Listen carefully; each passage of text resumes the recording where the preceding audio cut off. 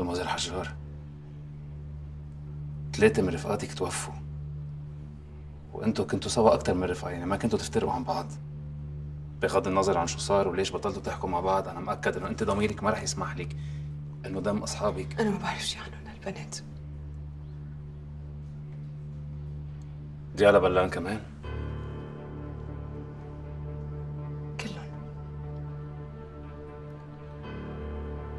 شفت ديالا قبل بليلة من وفاتها.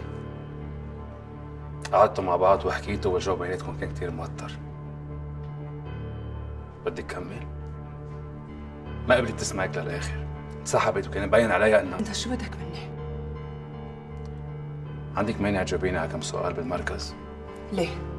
قلت لك ليش دموزيل حجار بدي أسألك كم سؤال.